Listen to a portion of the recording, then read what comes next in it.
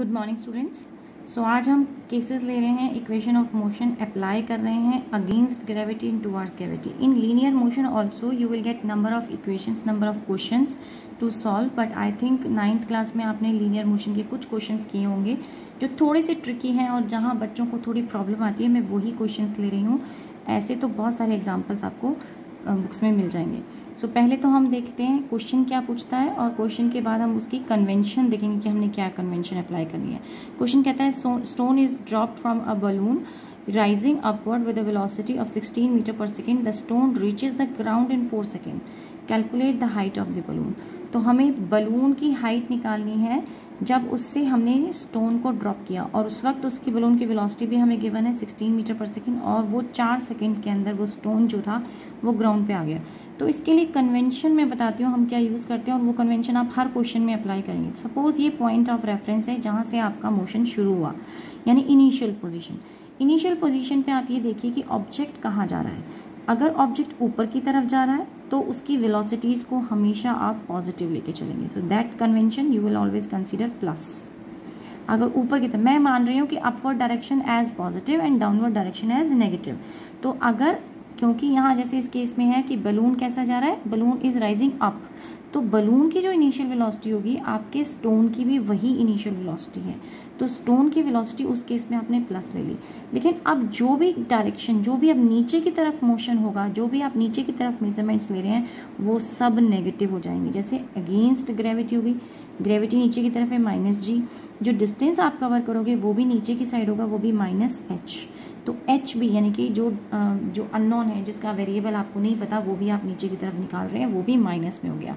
चलिए, अब equation apply करते हैं और देखते हैं हमारे पास जो कन्वेंशन आई, वो क्या क्या थी। जो बलून की वेलोसिटी है इनिशियली, वो कितनी है? सिक्सटीन मीटर पर सेकेंड, वो मैंने मान लिया है कि वो प्लस है। अब इक्वेशन लेनी है, S is equal to U T plus half G T square. क्योंकि उसने क्या पूछा? Calculate the height of the balloon तो हाइट निकालने के लिए हम यही यूज़ कर सकते हैं और दूसरा ऑप्शन कोई नहीं था क्योंकि हमें टाइम भी गिवन है। फाइनल वेलोसिटी हमें मालूम नहीं कि नीचे पहुँचते पहुँचते कितनी आई होगी। वो भी आप उस तरीके से भी कर सकते हो बट आई थिंक ये इजियर वे रहेगा। एक ही फॉर्मूले में आपके क्वेश्चन सॉल्व हो जाएगा। तो इनिशियल वेलोसिटी हमें दे रखी है सिक्सटीन टाइम उसने दिया है टी कितना दे रखा है? फोर सेकेंड एंड देन अब जी कितना लिया है हमने? माइनस तो half G into sixteen G की वैल्यू आप टेन भी ले सकते हो और अगर क्वेश्चन में गिवन नहीं है तो कुछ भी ले लीजिए, लेकिन अगर क्वेश्चन में गिवन है तो वही लेनी है जो क्वेश्चन में गिवन है। एंड ये आपने सॉल्व किया, यहाँ पे एच भी आपका माइनस आ जाता है। ठीक है? तो जब आप सिंप्लीफाई करोगे माइनस इस तरफ़ आया तो माइनस एच और ये जब सिंप्लीफाई करते हैं तो it will come out to be fourteen point four metre so इसका मतलब एच किसके बराबर आ गया? फोर्टीन पॉइंट फोर ये आपका आंसर आ जाता है। ये आप कैलकुलेशन करके देख सकते हैं मैं डायरेक्ट आंसर लिख रही हूँ। नेक्स्ट क्वेश्चन देखते हैं। A parachutist bails out from an aeroplane वो एरोप्लेन से नीचे उतर रहा है। And after dropping through a distance of 40 metre 40 metre के डिस्टेंस से ड्रॉप करने के बाद ही opens the parachute and decelerate at two metre per second square और इतनी डी uh, एक्सेलरेशन के साथ वो नीचे की तरफ़ आता है। If he reaches the ground with two metre per second और वो टू मीटर पर सेकेंड से ग्राउंड पे पहुँच रहा है तो दैट मीन्स उसने उसकी फाइनल वेलोसिटी आपको दे दी है। How long he is he in air तो अब इसकी फिगर बना लें। ऐसे क्वेश्चंस में सबसे पहले बेनिफिट होता है कि आप सबसे पहले आप उसको कंक्लूड करने के लिए फिगर बनाओ। सो so, जब आपने the parachute bails out from the aeroplane aeroplane से जब तक वो गिरा नहीं तो उसकी वेलोसिटी इनिशियल कितनी हो गई? ज़ीरो पैराशूटिस्ट की इनिशियल वेलोसिटी कुछ नहीं थी। कहाँ कहाँ की तरफ़? डाउनवर्ड डायरेक्शन में कोई इनिशियल वेलोसिटी नहीं थी। उसके बाद and after dropping through a distance of forty metre तो फोर्टी मीटर नीचे आ गया। ये फोर्टी मीटर वो नीचे आ गया। ही ओपन्स द पैराशूट उसने पैराशूट खोला इस पॉइंट पे। Let me call that this point C point पे। ये ए पॉइंट है। इसको सी पॉइंट कहते हैं बी पॉइंट कहते हैं। किसी भी तरफ़ नाम दे दो। वैसे इसे बी कह देना चाहिए था। चलो कोई बात नहीं। जो दे दिया है। उसी के अकॉर्डिंग चलता है। तो फोर्टी मीटर हो गया। अगर टोटल हाइट ग्राउंड से उसकी एच थी सो नीचे की हाइट कितनी हो गई? ये रह जाती है आपके पास एच माइनस फोर्टी वो जो हाइट है। अब उसने बोला कि कितने सेकेंड्स तक? He opens the parachute and decelerate अच्छा यहाँ इसके नीचे नीचे जो उसका एक्सेलरेशन है वो कितना है? माइनस ये डी एक्सेलरेट कर रहा है इसका मतलब रिटार्ड कर रहा है। इसीलिए यहाँ पे आ गया minus two metre per second square so ये जो डिस्टेंस आया ये मैंने minus two metre per second square लिख दिया है क्योंकि वो डी एक्सेलरेट कर रहा है फ्रॉम दी अपवर्ड डायरेक्शन से नीचे की तरफ़ आ रहा है। ओके okay, नाउ आगे देखते हैं। फाइनली ग्राउंड पर वो जिस वेलोसिटी से पहुँच रहा है, वो है two metre per second square तो यहाँ यहाँ की जो फाइनल वेलोसिटी है फाइनल जो वी है, वो तो है two metre per second initial जो यू है, वो है ज़ीरो एक्सेलरेशन जो इस पॉइंट के बाद है एट सी इसको सी कहते हैं.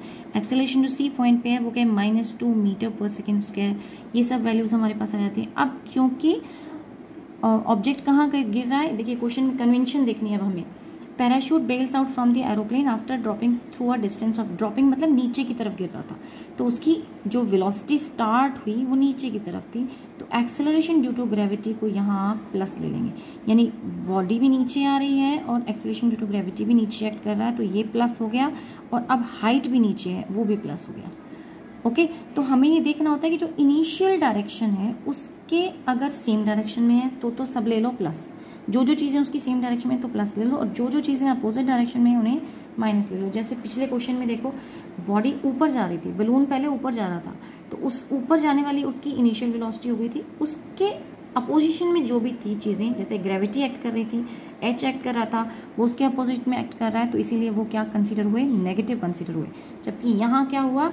एरोप्लेन ऊपर नहीं जा रहा। अगर यहीं वो कह देते ना राइजिंग एरोप्लेन राइजिंग हेलीकॉप्टर या राइजिंग बैलून तो उस सिचुएशन में फिर आप यू को नेगेटिव लेके चलते। सॉरी यू को पॉजिटिव मान लेते और फिर जी नेगेटिव हो जाता, जैसे पुराने केस में हुआ। बट यहाँ उसने राइजिंग में नहीं बोला, उसने बोला कि एरोप्लेन से तो इसका मतलब एरोप्लेन हॉरिजॉन्टल डायरेक्शन में जा रहा होगा। और बलून जो है, या जो पैरा पैराशूटिस्ट जो है, वो नीचे की तरफ़ आया है। तो उसकी इनिशियली तो रेस्ट पर था, फिर उसकी जो वेलोसिटी स्टार्ट हुई, वो कहाँ हो गई? नीचे की डायरेक्शन में स्टार्ट हुई। तो इसीलिए हमने जी को यहाँ प्लस ले लिया। अब कन्वेंशन हमारे पास आ गई हैं। इक्वेशन हमें लगानी है। पहले इक्वेशन लगा देते हैं। S is equal to U T plus half G T square ये कितने डिस्टेंस तक के लिए? Forty centimetre forty metre distance के लिए। तो यहाँ हम एस को फोर्टी ले लें। इनिशियल वेलोसिटी ज़ीरो थी। हमने अभी कहा ज़ीरो थी। और जी आपका प्लस जा रहा था। तो ये हो गया G T square by two अब यहाँ पर से आप सॉल्व करेंगे तो टाइम की वैल्यू आपके पास आ जाएगी and that comes out to be eighty by G और एट्टी कितना आ रहा है आपके पास? वो भी आप अंडर रूट में लेंगे तो ये आ जाएगा twenty by seven this will come out as twenty by seven simplify करेंगे तो आपके पास ये वैल्यू आ जाती है जी की वैल्यू अब हमारे पास आता है पार्ट टू करना है हमें. तो जब बॉडी यहाँ से ड्रॉप करके यहाँ पहुँच गई होगी। इनिशियल उसकी वेलोसिटी ज़ीरो थी, लेकिन यहाँ आने के बाद उसकी वेलोसिटी उसने कोई ना कोई वेलोसिटी अटेन कर ली होगी। उसकी कोई वेलोसिटी वी हो गई होगी फाइनल वेलोसिटी तो पहले वो फाइनल वेलोसिटी निकाल लें। कि इस पॉइंट पे let's me let me call ये वी वन वेलोसिटी है। तो वी वन वेलोसिटी निकाल लेते हैं। वी वन वेलोसिटी किसके बाद होती है? U plus G T A T होता है बट जी हम अगेंस्ट ग्रेविटी की बात कर रहे हैं तो जी टी तो यू इनिशियली क्या थी? ज़ीरो जी कितना था? हमारा टेन ले लेंगे हम, या जो भी नाइन पॉइंट एट और टी की वैल्यू आप निकाल चुके हो, वो आप प्लेस करते हो then your final velocity will come out to be twenty eight metre per second please do the calculation क्योंकि मैं डायरेक्टली सिर्फ़ आंसर्स लिख रही हूँ। मैं कॉन्सेप्ट समझाने की कोशिश कर रही हूँ otherwise video will become so long calculation का टाइम भी अगर हम यहीं लेंगे तो। अब आगे बात बनती है। अब ये जो वी वन है, ये सेकेंड मोशन के लिए इनिशियल मोशन इनिशियल वेलोसिटी हो गई। फाइनल वेलोसिटी अब आपको गिवन है टू वो आपको गिवन है। एक्सेलरेशन यहाँ गिवन है माइनस टू जो आपके पास गिवन था रिटार्डेशन वाला तो हम निकाल सकते हैं बाकी का जो मोशन हुआ, उसमें उसे कितना टाइम लगा? उसमें बॉडी ने कितना टाइम लिया? फिर से निकालते हैं तो ये फाइनल वेलोसिटी वी इज़ वही फॉर्मूला लेंगे V U plus G T लेकिन अब की बार टी किसके बराबर आ जाता है? V minus U by G और जी नहीं एक्सेलरेशन ए क्योंकि अब की बार हमने एक्सेलरेशन वो लेना है, उसने बोला पैराशूट खोलने के बाद जी का इम्पैक्ट खत्म हो गया। और पैराशूट के बाद वो एक्सेलरेशन ए से ट्रेवल कर रहा है। तो हमने वैल्यू पुट कर देनी है यहाँ पे सबकी। आपके पास फाइनल वेलोसिटी आ गई थी ट्वेंटी एट ये वी वन है। Minus initial velocity sorry final velocity is two ये v जो है, ये तुम्हारा ट्वेंटी एट है। तो two minus twenty eight divided by A कितना था? माइनस ऑफ़ टू तो ये सॉल्व करके आपका आता है थर्टीन सेकेंड ये ध्यान रखें कि ये यहाँ जो v है, ये जो u निकला है, ये v डैश है।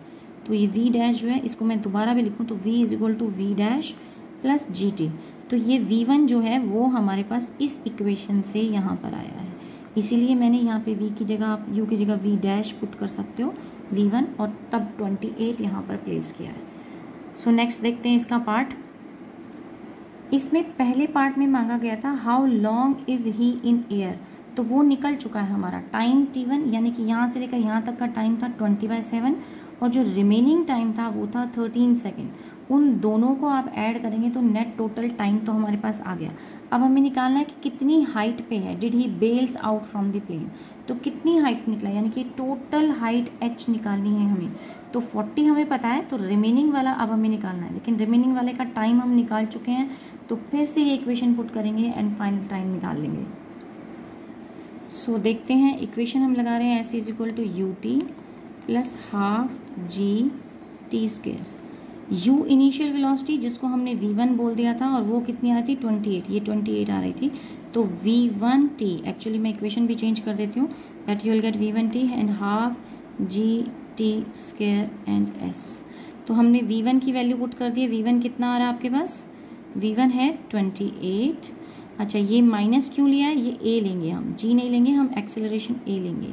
कौन सा एक्सेलेशन, क्योंकि अब हम जो निकाल रहे हैं, वो ये रिमेनिंग डिस्टेंस निकाल रहे हैं। सो रिमेनिंग डिस्टेंस तो एक्सेलरेट कर रहा है minus two metre per second पे तो अब इसका एक्सेलरेशन लेना है। तो that is Y minus A initial formula तो ये है, लेकिन अब मैंने कन्वेंशन अप्लाई कर दी यहाँ पर। तो that is equal to half A और वो भी वो जो गिवन वाली वैल्यू है। तो मैं माइनस ए पुट कर दो, या फिर आप जब पुट करोगे तो वो ऑटोमेटिकली माइनस टू आ जाएगा।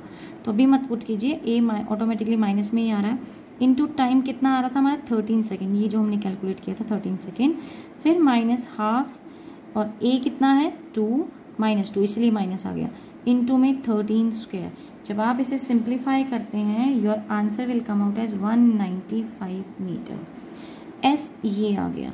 तो अब आप एस टोटल कितना हो गया अब हमारे पास? 195 में प्लस 40 मीटर जो वो ऊपर से फॉल कर रहा था, ये वाले 40 ऐड कर दीजिए your final answer will be 235 metre is a final answer now let look at this question a ball is thrown vertically upper with velocity of 20 metre per second from the top of the multi storey building the height of the point from where the ball is thrown is पच्चीस पच्चीस metre okay okay. So so, ground से जो distance दिया है वो 25 metre दिया है और बॉल को पहले ऊपर फेंका गया है। तो अगर u इनिशियली आप प्लस लेते हो तो g क्या हो जाएगा? वो नेगेटिव हो जाएगा। और डिस्टेंस क्या हो जाएगा? वो भी नेगेटिव हो जाएगा। तो ये दोनों वैल्यू ये हमारी कन्वेंशन आ गई कि अगर उसे हम प्लस मान रहे हैं इनिशियल को तो ये दोनों हमारी नेगेटिव चलेंगी। Now let us apply the formula formula बिल्कुल सिंपल है। सबसे पहले हमें क्या निकालना है? How high will the ball will ball rise so अब हमें टाइम पता नहीं है तो V square minus U square is equal to two G S हम रिलेशनशिप लेते हैं।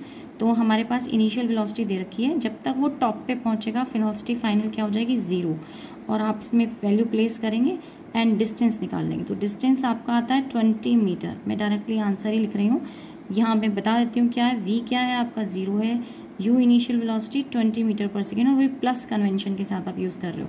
सॉल्व करोगे तो हाइट या डिस्टेंस जो है, वो कितना आ जाता है बीस मीटर। यानी कि बॉल बीस मीटर ऊपर जाएगी, फिर वापस आएगी तो बीस और बीस चालीस मीटर तो ये डिस्टेंस कवर कर लिया।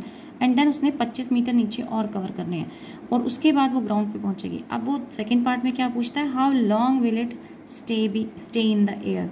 तो इसके अंदर हम एक डायरेक्ट कन्वेंशन यूज़ करते हैं, U T plus half G T square. अब यहाँ पर, क्योंकि मैंने कन्वेंशन पहले ही ऑलरेडी मेंशन किया है कि जब इनिशियल वेलोसिटी ऊपर थी तो डिस्टेंस नीचे कवर हो रहा है तो 25 सेंटीमीटर आप माइनस में लेंगे और जी जो है जी की वैल्यू वो भी माइनस में लेंगे।